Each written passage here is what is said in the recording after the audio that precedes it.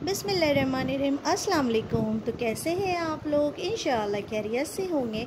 मैं भी बिल्कुल ठीक ठाक अल्लाह के करम से। तो आज ना बहुत ही मज़े मज़े के टिप्स लेकर के आ गई हूँ। जी हाँ वीडियो को फुल वॉच करने के बाद ही आप समझ पाएँगे कि कितने ही मज़े मज़े के टिप्स हैं आज मेरे इस वीडियो में। तो प्लीज़ वीडियो को फुल वॉच कीजिएगा। तो चलिए टिप्स जो है ना, वो स्टार्ट करते हैं। और तहे दिल से आप लोगों का स्वागत करती हूँ। और आप लोगों की खिदमत में मैं हमेशा हाजिर होती हूँ। और आज भी हाजिर हो गई हूँ। और इन यही दुआ करती हूँ कि आप लोग भी अगर यूट्यूब में है ना तो इन शाला आप लोगों को भी तरक्की मिले।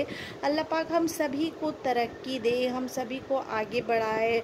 तो बस यही दुआ करती हूँ और आप लोग से भी रिक्वेस्ट है कि आप लोग भी यही दुआ कीजिए कि अल्लाह पाक जो है ना हम सबों को तरक्की दे और अच्छे राह में चलने की तोफ़ी अदा फरमाए। आमीन, सुम्मा आमीन। जी हाँ नेक राह में चलने की तोफ़ी अदा फरमाए। और अगर आप डेली नमाज़ पढ़ेंगे ना तो इन इन आप ज़रूर कामयाब होंगी। एक ना एक दिन मुझे अल्लाह पे पूरा भरोसा है। तो टिप्स नंबर वन आज का ये है ना कि बॉटल्स को देखिए, अभी गर्मी के मौसम में ना जो ये जो डोर साइड वाले जो सामान होते हैं ना, वो बहुत ही जल्दी ख़राब होने के चांसेस रहते हैं बिकॉज़ यहाँ पे ज़्यादा ठंडा नहीं होता है ना तो इस वजह से। तो बॉटल को क्या कीजिएगा ना कि रात में इसे डीपर पे रख दे। जी हाँ इसे डीप फ्रिज पे रात पे रख दे ताकि पूरा बर्फ़ जम जाए बॉटल्स में और उसे ना यहाँ हम लोग डोर के साइड में अगर सेट कर देंगे ना तो आप देखेंगे कि ये बहुत ही अच्छा हो जाएगा क्योंकि ये जो इसमें जो बर्फ़ जम गया है ना तो इसके वजह से आपका जो डोर वाला साइड का जो भी सामान है ना, कोई भी हम लोग जैसे कि ये रखते हैं, बटर या फिर घी या कुछ इस तरह की अगर रखते हैं ना सामान तो वो एकदम भी ख़राब नहीं होगा। कभी कभी गर्मियों में वो सारा चीज़ जो है, वो ख़राब हो जाता है और एग वगैरह भी रहता है ना तो इस वजह से ऐसे कर ले तो आप करके आजमा करके देखिए, ये बिल्कुल भी ख़राब नहीं होगा इन तो चलिए नेक्स्ट टिप की तरफ़ चलते हैं। टिप नंबर टू आज का हमारा ये है कि ये भी देखिए, इस तरीके के ना बर्फ़ जम जाते हैं हमारे फ्रीज़र में।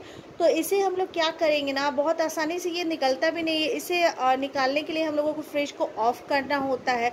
पर ये अभी गर्मियों में पॉसिबल नहीं होता बिकॉज़ फ्रिज ऑफ़ करेंगे तो सारा सामान ख़राब हो जाएगा और पानी भी ठंडा नहीं होगा।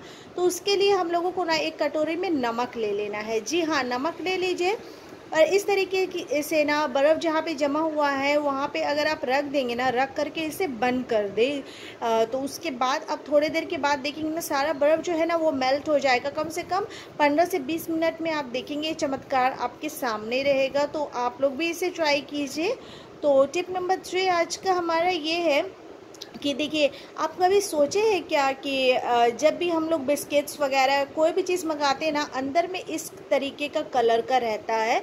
अंदर की जो प्लास्टिक है ना, इस कलर की रहती है। क्यों रहती है? क्योंकि ये देखिए इसमें लाइट है, इसमें शाइन है। जैसे कि धूप में शाइन और लाइट होता है ना जस्ट वैसे इसमें भी है। तो धूप और शाइन और लाइट से आप जानते हो कि कीड़े वगैरह जो है वो मर जाते हैं, ख़त्म हो जाते हैं। तो इसीलिए इस तरीके के जो पैकेट्स होते हैं ना पैकेट्स के अंदर की तरफ़ शाइन रखा जाता है। तो जैसे धूप में शाइन है ना तो धूप जो है वो तो हम लोग पैकेट में नहीं डाल सकते हैं। बट हम लोग ये जो एलमिनियम फॉयल है ना, इसे आप जस्ट इस तरीके से कर ले। करने के बाद ना आप कोई भी चीज़ में अगर डाल करके रखेंगे ना, वो बहुत बहुत दिन तक आपका अच्छा रहेगा, फ्रेश रहेगा, चलेगा ख़राब बिल्कुल भी नहीं होगा। तो आज ये आप समझ गए ना कि आखिर पैकेट्स में जो है ना, पैकेट्स वाले सामान के अंदर में ऐसा कलर का क्यों होता है? तो आप लोग अगर ये नहीं जानते थे ना पहले तो उसमें भी बताइएगा कमेंट्स करके, और अगर जानते थे पहले से तो ये भी बताइएगा प्लीज़।